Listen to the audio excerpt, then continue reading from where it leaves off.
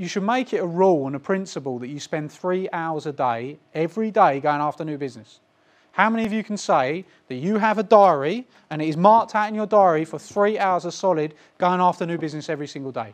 Raise your hand. Okay, one person. No, but I keep moving it every day. It is the fundamental of a business that you are doing outreach and going after new business and following up clients and quoting and calling people and emailing people, texting people, WhatsApping people, whatever it takes. It is a fundamental.